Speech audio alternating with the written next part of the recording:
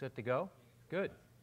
My name is Ed Morrison. I'm with iOpen. Uh, I also work at Purdue, and I'm glad to be here. And I'm very happy to share with you some ideas that we've developed on uh, how you might apply open source software development to open source economic development.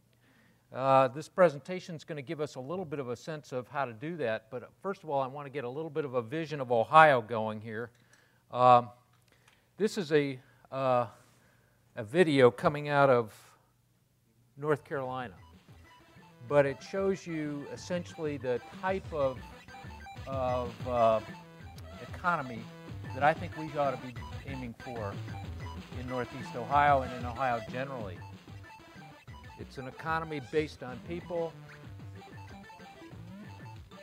Volume on the computer, yep, sure. Sorry, apologize for that.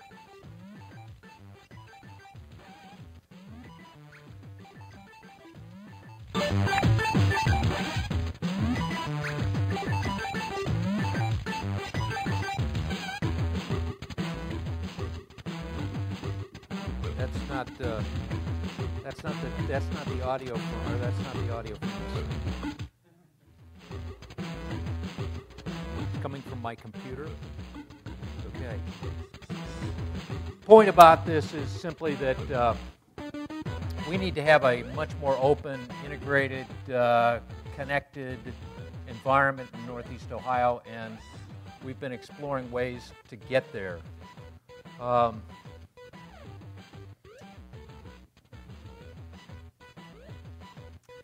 if you look at Northeast Ohio in uh, 2002, the top frame essentially shows you what it was like. It was a bunch of uh, arrows heading off in different directions. What we've got now in Northeast Ohio is a, uh, is a vision imposed from above about what Northeast Ohio should be. It's not really going to work. Uh, and what we're heading for is a more aligned sense of direction, sense of innovation. And we're going to tell you how to get there. But first, we've got to understand what happened to the economy here in Northeast Ohio. These are the uh, great Hulett iron ore unloaders that were on the uh, banks of, of uh, Lake Erie. Uh, they no longer exist, but uh, our grandfather's economy was all based on moving a lot of stuff moving steel, coal, oil, uh, moving a lot of materials. This is one of the first Edison films in 1897 taken on the banks of Lake Erie, and it shows you some of the innovation that took place that generated the wealth in this region that gave us a lot of what you see around town now, which is the Museum of Art, uh, the institutions, the banks, um, the educational institutions. What's interesting about this is that the guys on the right were told not to move during this whole video because they don't move at all. Everything else moves, but they don't. But that's, this is the metrics of our success. This is how we, how we uh, developed. We developed huge uh, wealth in this region. This is obviously just a few blocks from here, and you can see what, what happened. Well, in 1965 to 68, the steel industry started to peak and everything started going downhill from there. Uh, this is uh, steel industry declining and population declining. So, what do we do? Well, in order to understand what we do, you have to understand how to build wealth in an economy. So, this is an important set of slides to keep your uh, keep an understanding of how you build wealth. First, good money. We need to build businesses that generate wealth from outside this region. Uh, neutral money, we need to accelerate the vo- velocity of neutral money buying products and goods and services from each other and reducing the flow of bad money out. It's become tough to do that simply because competition for traded businesses, these sophisticated businesses, becoming more complex. Walmarts are, are uh, sapping the energy out of our downtowns, and young people are obviously moving away. If you look at a cycle of business development, this is a an accelerating cycle of prosperity in regions like Austin and like uh, Research Triangle and like uh, Silicon Valley. You have an accelerating cycle. We're, however, caught in a downward cycle right now. And the question is how do we break out of that downward cycle? How do we break out of this downward cycle? The challenge is today to come up with a new model for economic development, a new way to build prosperity, a new way to engage ourselves and build new opportunities. And this is, means climbing up onto the second curve. The second curve is all about transitioning away from our grandfather's economy. Our grandfather's economy has faced enormous pressures over the last 40 years from cost declining. The internet exploded, and all of these things have blown apart the grandfather's economy, but they create new, whole new opportunities for us in a second curve economy, an economy built on wealth, link and leverage type networks. What we have to do is figure out ways to take our assets from the first curve economy and start to link them to the second curve economy. And a lot of that's going to happen over the internet, a lot of that's going to happen by the integration of software development with economic development. Key point number one in order to accelerate and move on to the second curve, we're going to have to innovate. We're going to have to figure out new ways of working together. Key point number two to innovate, we need to start shifting our thinking away from hierarchies to networks. Stop looking for permission to do things, start doing things. Stop complaining, stop whining, move ahead. Key point number three the command and control system that operates in this region doesn't work, it will never work. Key point number three is that uh, in addition to it not working, it's complex. There are a lot of opportunities out there to link and leverage different organizations. This is the economic development system in uh, Charleston, South Carolina. And you can see how complicated it is. A similar system operates in Northeast Ohio. It's very complicated, it's very complex. You're never going to command and control it. So we need to connect and align resources in this civic space, thinking about linking and leveraging. So the hot, the uh, soft stuff becomes the hard stuff. Linking and leveraging, figuring out how to manage this is going to become difficult. Key point number five we need to balance open participation with leadership direction. And the leadership can come from anywhere. It can come from a 22, 23 year old who, for example, in Indiana, decided that he wanted to see if he could get one of the small towns off the grid. He worked at the Department of Agriculture. He came up with a concept called Biotown. He sold it to the Secretary of Agriculture, who sold it to the governor. Biotown is now in Reynolds, Indiana, and it's a whole group of people trying to figure out how to run an economy off of biofuels. That was an idea that a 23 year old kid came up with about a year ago, and it's moving ahead. So, transparency and trust, figuring out how to work together, these are all principles of open source. Transparency and trust are strategic, they lead to strong civic networks. Regions with stronger networks are going to be more prosperous, they're going to align faster, they're going to act faster. Uh, this is the principle of open source software development. Same principles of open source software development can be applied in the real world, in the economic development world. Key point number six our opportunity, if we start doing this, our opportunities are going to start to grow. They're going to start to grow exponentially. Key point number seven people move in the, in the direction of their conversations. So we can ignite new opportunities by talking about how do we map our assets? How do we connect our assets together in a new and different way? Well, this is an idea, for example, that's happening up in Toronto right now. Bar Camp is an ad hoc gathering of people who come together and figure out some new ideas and start mapping their resources. This is happening up in Toronto. Uh, we ought to get these people down here, come down and teach us how to do bar camps. Key point number eight the way to move ahead in this discipline is to have a discipline. And that discipline means exploring, focusing, aligning, and executing.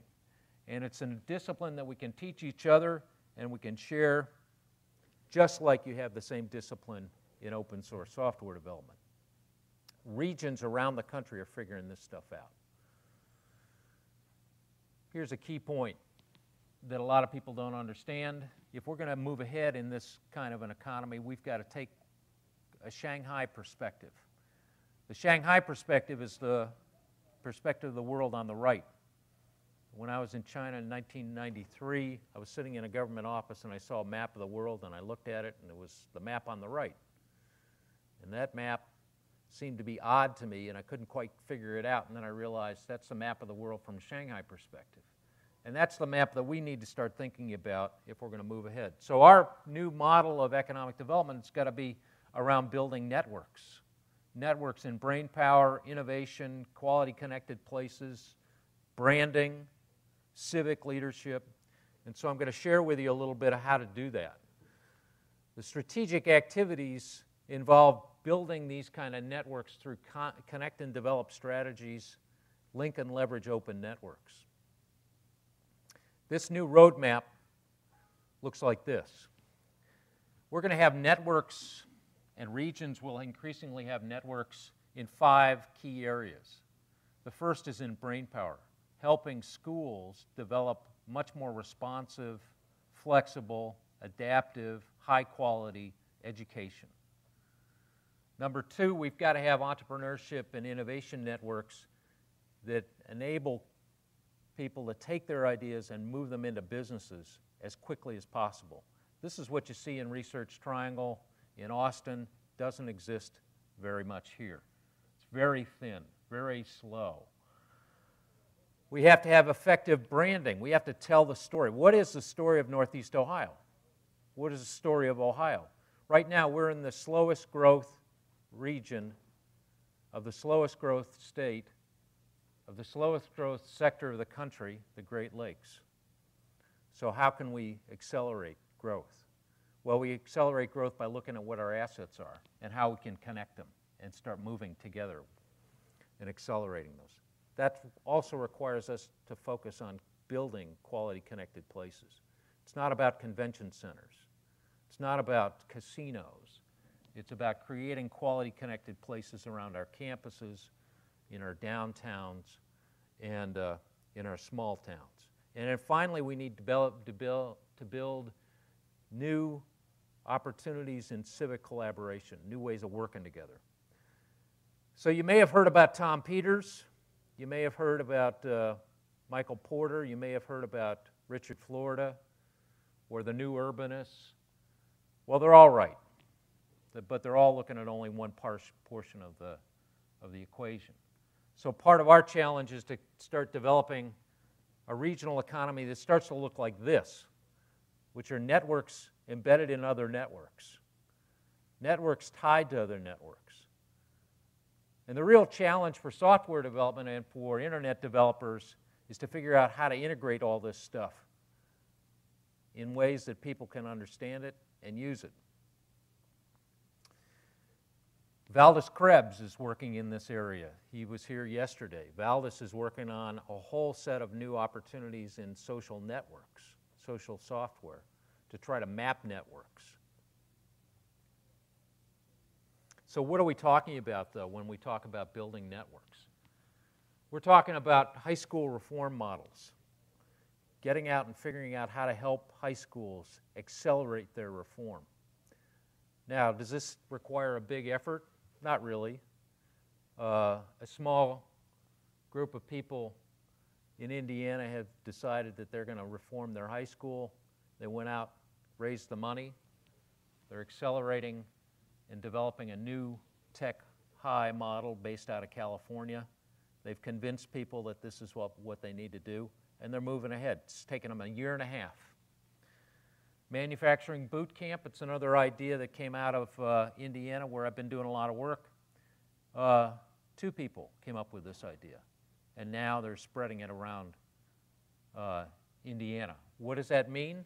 Manufacturing boot camp is designed for those kids who came, came out of high school with no career, no skills. Uh, now they're going through an 18 week process after high school, and they're getting jobs and they're moving ahead, and 83% of them are employed. Entrepreneurship training in every high school. In the 14 county region in Indiana, we're going to have entrepreneurship training in every high school. business plan competitions in high schools. How do you develop all these things? Building quality connected places, Main Street programs, expanding broadband infrastructures. How do you get engaged? What do you do? Branding, effective heritage tourism, figuring out where we can bring new people in to the region. Regional food brands, this is something that's happening in southern Ohio, around the Univers- Ohio University. It's a whole bunch of food entrepreneurs have gotten together and started to brand their food in a regional branding. Weekly civic forums. We're doing this right now at Cleveland Institute of Art. We did it at Case when I was there. This is an expanding opportunity. The Charleston Digital Corridor is doing this down in Charleston, South Carolina. They saw the idea, and they said, let's do it. They went ahead and started. How much does this cost? Cost cookies and coffee. Regional forums. Move ahead. So, this is a map that increasingly regions are using to keep track of what's going on, to keep track of their networks, to start working together, to start collaborating, to start uh, finding new ways to move ahead, to stop complaining, to stop whining, and to start acting. So let's talk about the basics of starting out. What is that? Strategic doing. This is the civic discipline. It's a four step process. The first step is to figure out what our assets are, what we could do together, how we could collaborate. The only reason I'm here is to figure out how I might collaborate with one, two, three, four of you, figure out how we might work together. Second is to focus on something. Focus on a project quickly. Figure out what you can do together. Collaborate. Third is align. Figure out what resources we need. Move ahead. Fourth is to execute and then to do it again. Now, developing and moving around this circle doesn't take time.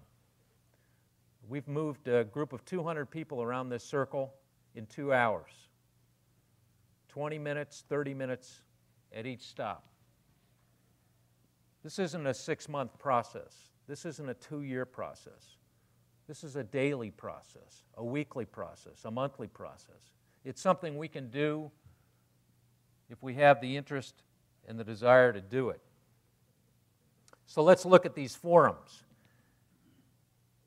At Future, now out at the Cleveland Institute of Art, they're focused on, they have monthly forums focused on the digital role of digital media. Just uh, down the way here, this Future Forum is exploring how Northeast Ohio could become a leader in creative digital media. Is this an outside the box thought? No. Muncie, Indiana is ahead of us. The triad region of North Carolina is ahead of us. Why? Because they see the opportunity and they're moving. We're not moving. We've got to move. Just a little bit down the way here in Midtown, you have a civic forum. Civic forum that starts every Friday. It's now moving to every other Friday, I believe. But it's a an effort to try to ignite new ideas in Midtown. So they're using workshops and exercises to move around this circle. And they're also focused on how do we create an opportunity here? Uh, how do we make this fun? There, you bet there's a brain drain in Cleveland. It happens every Friday at the Need Brand Partners Loft. Lots of coffee, no wine. You're here, which means you're at the right place at the right time. Everyone leaves with a buzz, and it's only partly due to the coffee.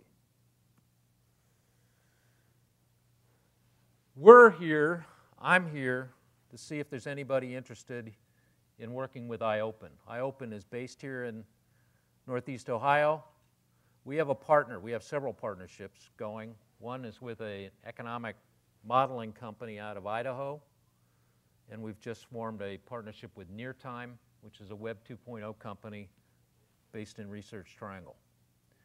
Uh, we're finding partners all over the country. We're not finding them here in Northeast Ohio. Uh, we want to reach out for, to uh, young people, to people who want to get involved and engaged and work with us.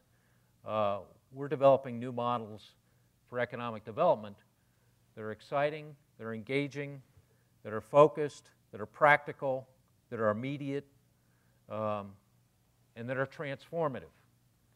The people at Neartime saw the opportunity in working with us, and so they're putting in five people to work on our team.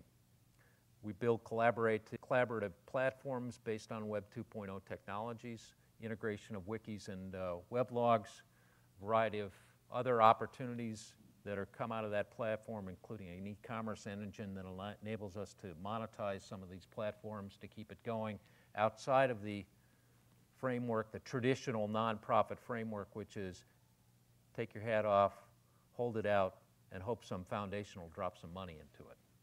That old model doesn't work. It's not going to work here, and uh, it's not something that we're pursuing. We're pursuing a value added strategy that's based on developing new types of collaborations and monetizing them along the concept of the long tail. So, what's next? Is there support among the, the uh, folks in Notacon to have an open network of open source software developers to support open source economic development? That's the open question. I put up a website uh, this morning, which I'll um, link to. You can copy down the URL if you're interested. It's notacon-iopen.neartime.net. This enables us to collaborate. You can join it, join the space. Um, we can work together using the Neartime platform. If that's not something you want to do, we've got the Drupal platform going in some places. Uh, Obviously, uh, WordPress is a very simple blog platform that people are using, uh, but you've got to find ways to connect and, and, and move people forward. And in order to do that, we've got to have some software tools, internet tools to do it.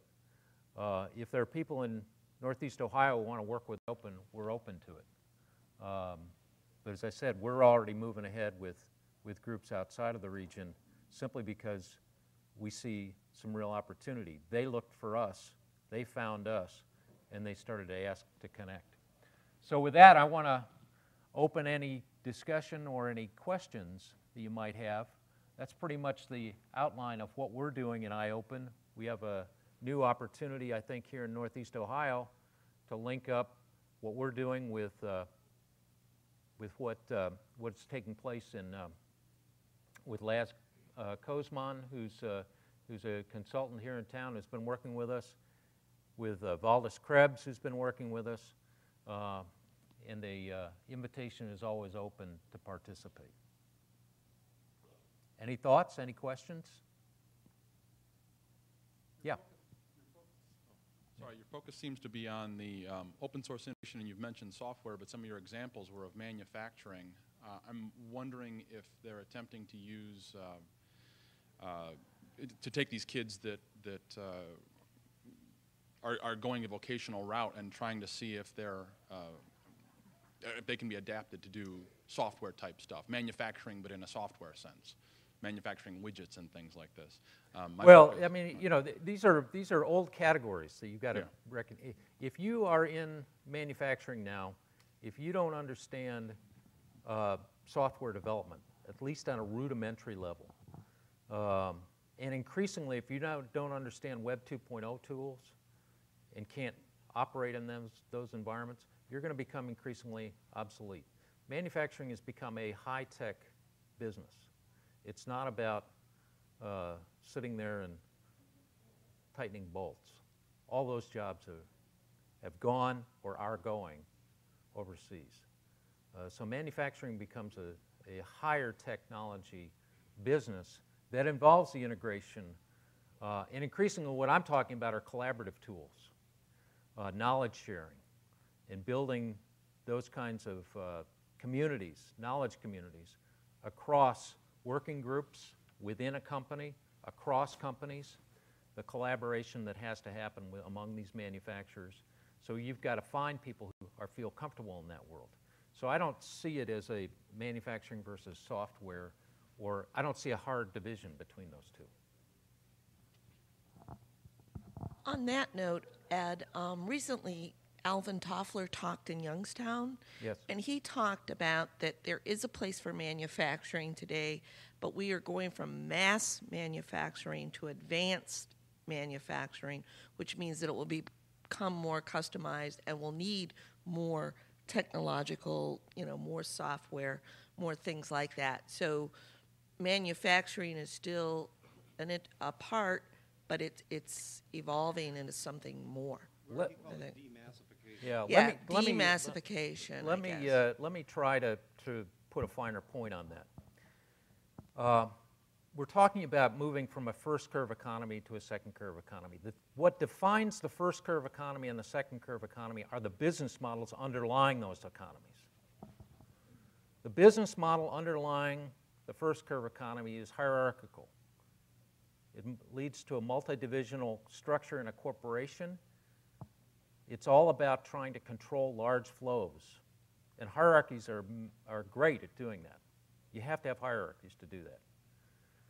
Now we're moving toward business models that are more networked. We have auto manufacturers who are on the first curve. General Motors and Ford are stuck on the first curve. The second curve automobile manufacturers are Toyota and Honda. So it's not, a, it's not a move from, as Gloria points out, it's not a move away from manufacturing. It's a move toward a different type of manufacturing based on a different business model. And the business model is involves, involves networks, business networks. And it, it is increasingly going to be driven off the internet. The internet is our first interactive mass medium. We haven't really quite figured out what that means yet. But what it does mean with Web 2.0 is the exploitation by people without strong computer backgrounds of the interactivity of the net. That's what Web 2.0 tools are all about. Can you put those Web 2.0 tools in the hands of people who don't have a background in business, uh, in uh, software development? Example, Wufoo. Look at what Wufoo is able to do. You're sitting at your desk, you don't have any background in, in, uh, in software development. You have a customer list of 5,000 people. In the space of about three minutes, you can query those 5,000 people, send out a Wufoo survey, and get the results back within eight hours. Now, that's extremely powerful. And you don't, uh, you don't need a software background to do that. That's what a Web 2.0 tool does. So it creates all sorts of new opportunities for network business models. All sorts of new opportunities. But the economic development structure, the way in which we approach economic development, the way in which we approach our civic space is going to change. And the regions that figure this out faster are going to prosper better, uh, prosper uh, uh, more. Yep. That, that thing you just said, what is it, Wufoo? So that's a second, second curve turn, because you couldn't really say that in a first curve boardroom, could you now? Woof. Maybe. Yeah, right, right, right, right.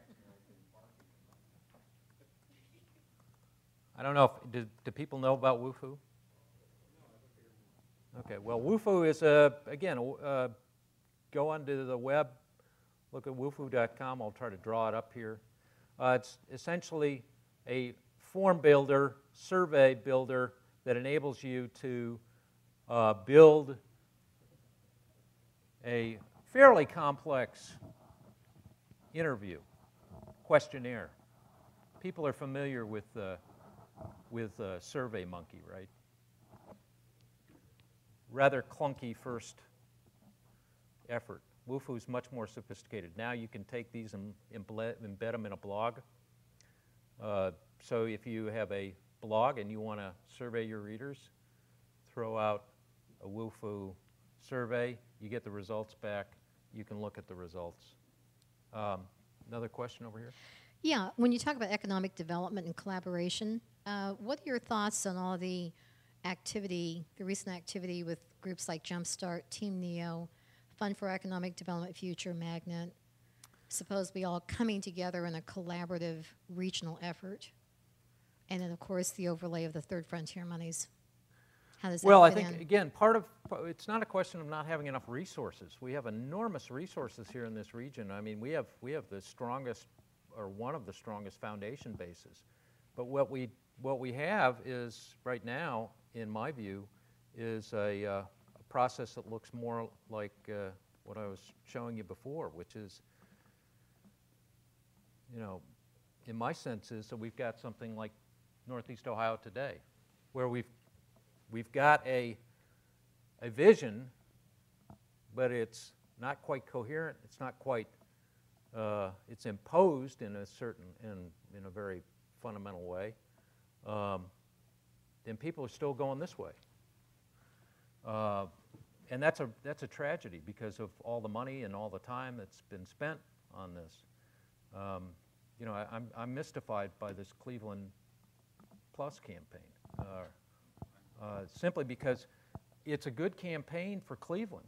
It's a very good campaign. It's a good idea for Cleveland, but I thought we were building a region. I thought we were building a Northeast Ohio region.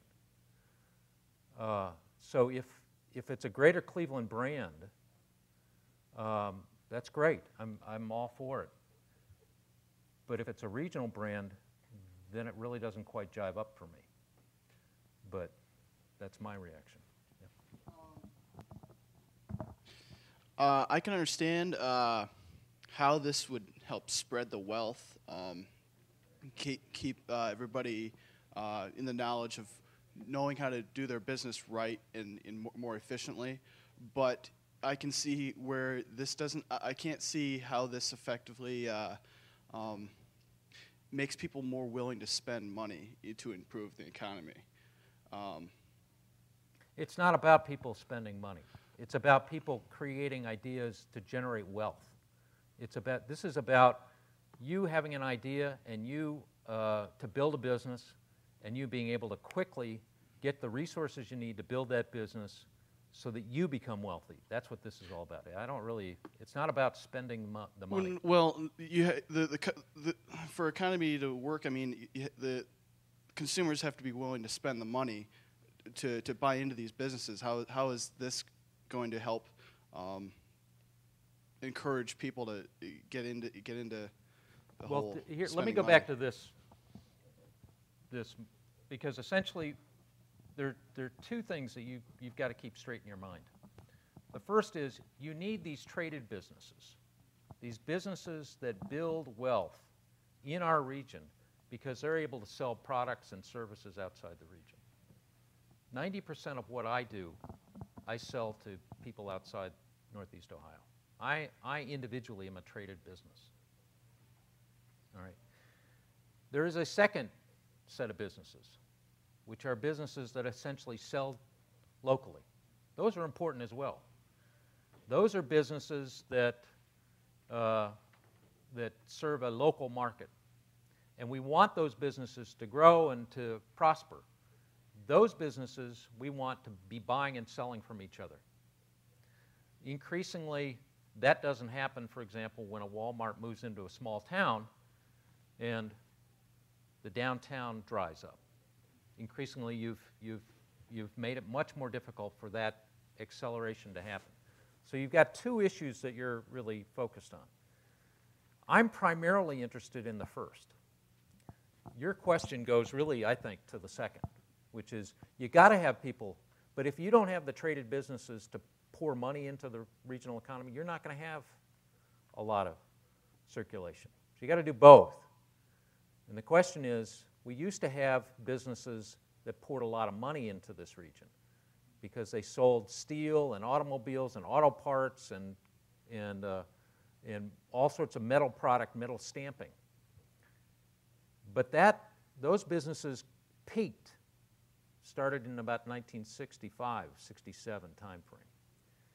And we have not built new businesses to replace them. Now we're making some progress. There's no doubt about it. There's, uh, there's progress being made with the clinic, and there's progress being made in medical equipment and things.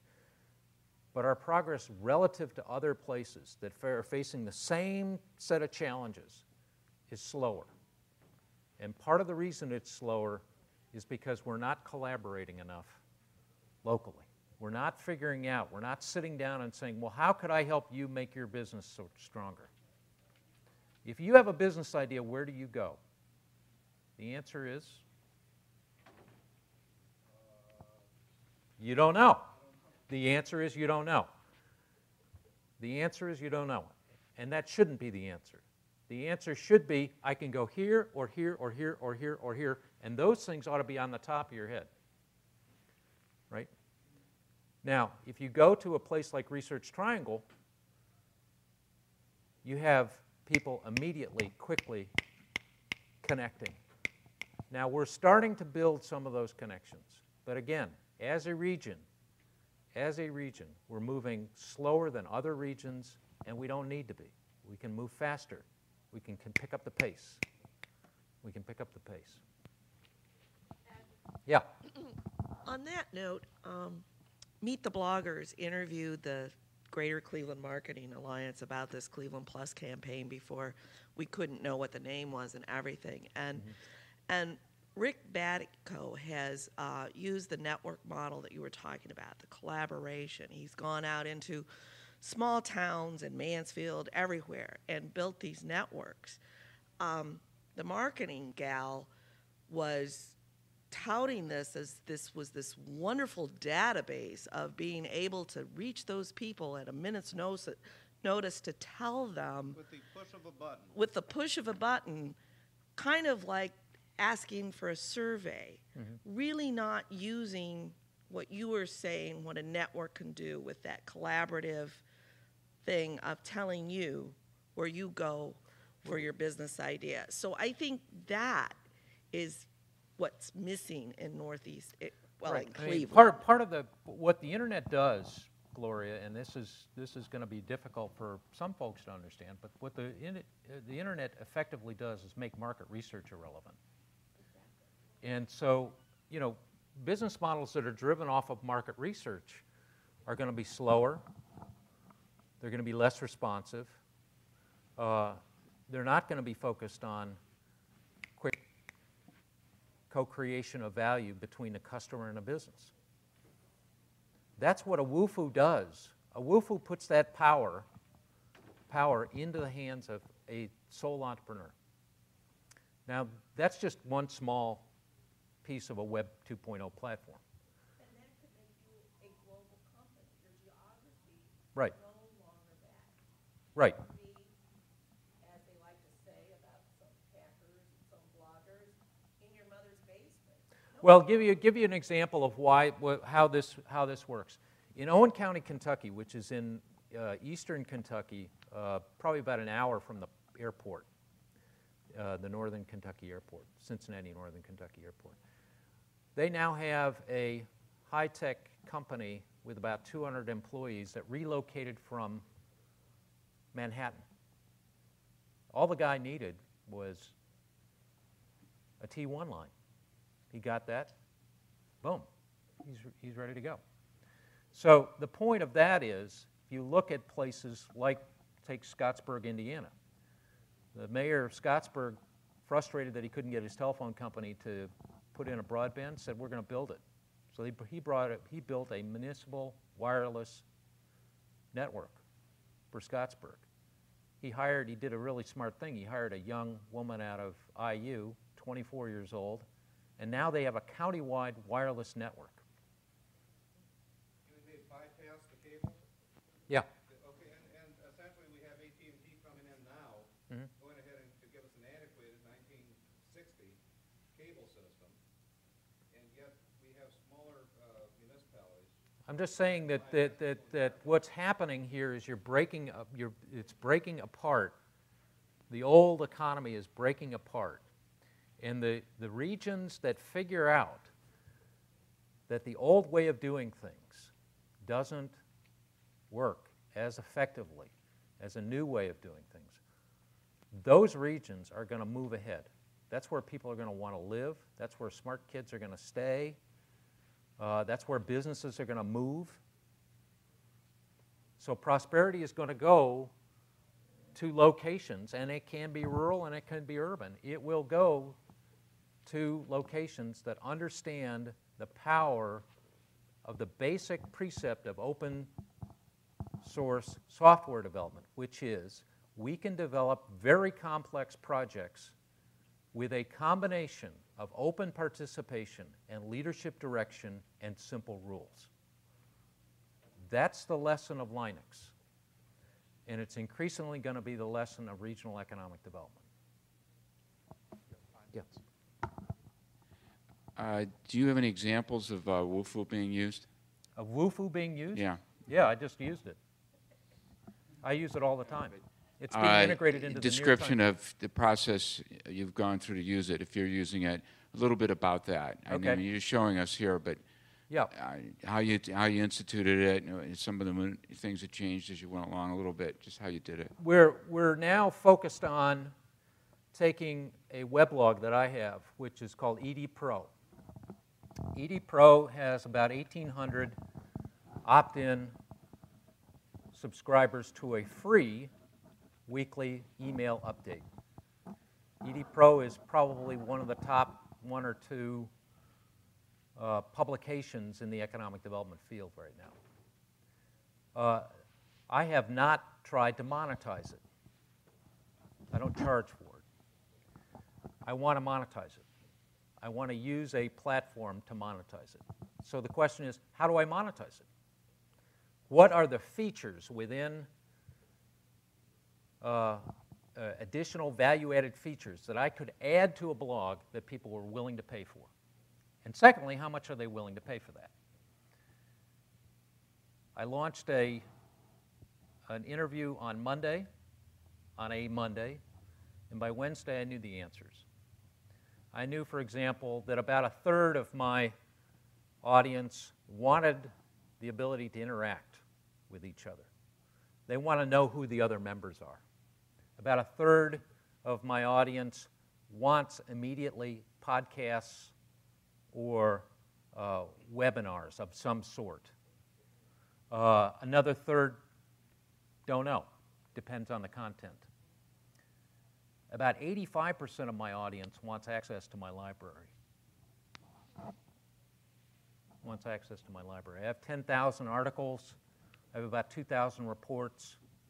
I've been collecting these things for six years. I have an extensive ED, economic development library that's very detailed. Um, so, how much are people willing to pay? Minimum amount of money is probably about nine bucks a month on up. Are they willing to pay per, per event? Yeah, they're willing to pay per event. In other words, I have a webcast on a particular topic, they want to opt in. So I need a web platform that's going to enable me to do that. Uh, my partners down in Research Triangle understand this and they're helping me build it. So that is an example of how you use Wufoo to design a business model. Yes, sir. Back, back in the back over here. Oh, I'm sorry. Steve? Oh, yeah. Yeah, follow up over great idea, but it seems that every single community in our situation, of which I imagine there's hundreds, have to be pursuing these same ideas. Yep. Part of branding or part of competitive posture is how do we separate ourselves? Everybody else is trying to do the same thing. What does Cleveland or Northeast Ohio, however you want to define it, have that every other community does not? Isn't that the challenge, though, of open source? Isn't that the challenge of open source, which is don't try to develop your business model, your individual business model or your regional business model, on things that can be easily commoditized. Right? So you have to look for the particular niches. And so, what would be some of those niches? Let's think about that. Well, that's one of the pur- whole purposes of what I was doing at REI at CASE. And let me outline some of the niches that we found. One is in creative digital media, specifically the integration of medical illustration and digital media. Medical education, 3D visualizations, simulations on surgeries, a whole range of opportunities that, are, that can emerge from the fact that we have an engineering school, a medical school, a law school, and uh, and an art school, all within 200 yards of each other, about. So, how many places on the planet have that combination? Not very many. Not very many. There's another dimension of this, though, that you have to understand, I think. And that is, in order for us to move ahead, we have to understand that we're moving toward this kind of a model, which is in the old line way of thinking. If in a resource based economy, if you weren't number one, number two, number three in the market, you were not going to prevail. That was the old Jack Welch General Electric view of the world. If I'm not one, two, or three in the market, we're out of the market. Why is that? Because the predominant business models in General Electric at that time were resource based models. We've got to be the low cost producer, otherwise, somebody else is going to eat our lunch. We've got to get down that cost curve, that experience curve, as fast as possible. Now, as you move toward new business models that are based on networks, you start seeing a model, business model that operates like this, which is the more network connections you have, the higher the probability that you can create wealth and transfer and create something unique. The way to illustrate that in particular is the unique capabilities of everybody in this room, the brain power of everybody in this room is unique on the planet right now. We have a unique assembly of brain power and experience and connections in this room that's unique on the planet. That's true of any other collaboration. The question is can we take that unique network of brain power and create wealth out of it? That's a fundamental question. And the challenge is to do that through networks. And that creates new opportunities. And that's why bioenterprises, for example, bioenterprise that, that moves and reaches out to Pittsburgh, that's an exciting and new development that we ought to be applauding because that's a unique set of networks that's going to evolve out of that, and we're, we're likely to, to uh, benefit from it. Thank you. Uh, If there's any more questions, you can get out in the conversation area. Thank you very much. Thank you.